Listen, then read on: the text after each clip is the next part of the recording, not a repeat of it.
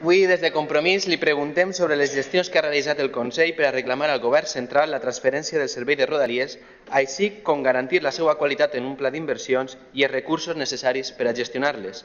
Com veu, des de Compromís intentem preguntar per temes que preocupen a la gent, als milers i milers d'usuaris i usuàries del nucli de Rodalies de València i de Castelló, als milers de viatgers del nucli d'Alacant, estic convençut de que els interessa més que així parlem d'aquest tema i no de com alguns es dediquen a, ressuscitar fantasmes del passat o a dividir els valencians a la casa d'unes suposades entitats que no se sap d'on són. Senyor president, és molt curiós que acusen entitats com valencianes, com Escola Valenciana o Fundació Sant Bori, de ser catalanes, perquè sap vostè quina és l'organització catalana que més diners públics rep de les institucions valencianes? Més de 3 milions d'euros? Una pista. Està al carrer Balmes 291 de Barcelona i el seu nom és Ciutadans Partit de la Ciutadania. Ells és l'organització catalana que està rebent més diners públics valencians ara mateix. I també, veritat que és absurd, veritat que és absurd, com també seria absurd que jo li preguntara ara mateix, a vostè li sembla bé que paguem un sou a una diputada que té de cognom català? Li sembla bé? O al president de les Corts que té català també? Per què li paguem un sou a aquest senyor? Veritat que és absurd. Però bé, però bé, senyor president, així estem en els, els grups del Botànic per a parlar i debatre sobre com millorar la vida dels valencians i les valencianes. I una bona manera de fer-ho és pegar un col damunt de la taula d'una vegada per totes en el vergonyós servei que ens presta Renfe en les rodalies al nostre territori. I com està aquest servei? Mire, li podria donar moltes dades, moltes dades que confirmen la total degradació d'aquest servei tan important per a la gent. Li podria dir el que la pròpia DIP diu, que és que la meitat de les línies de rodalies del nostre país estan saturades.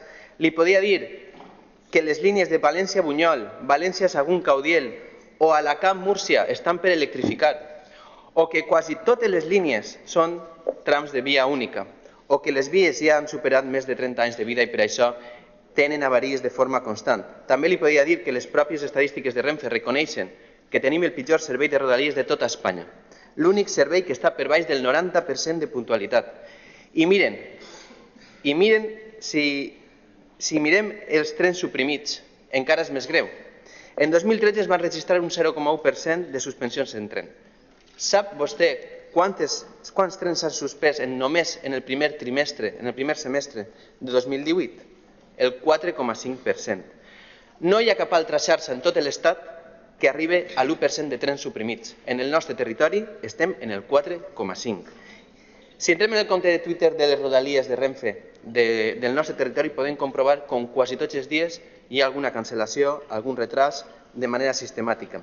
I això vol dir que la gent arriba tard a classe, a una pràctica, a un examen, a una cita amb l'especialista o senzillament al seu lloc de treball. Com li deia, li puc donar moltes dades, però només cal parlar amb els usuaris i usuàries. I si ho fem amb la gent que té una certa edat i es preguntem «Vostè tardava més en fer el mateix trajecte quan era jove?» La resposta és sorprenent. Es tarda més ara que fa 20 anys en fer el mateix trajecte. I això no és casualitat. Això sí, el preu del bitllet ha pujat. D'això no s'escapa ningú. La realitat és que els diferents governs centrals han abandonat el servei de rodalies en general i el servei de rodalies valencià i alacantí en particular.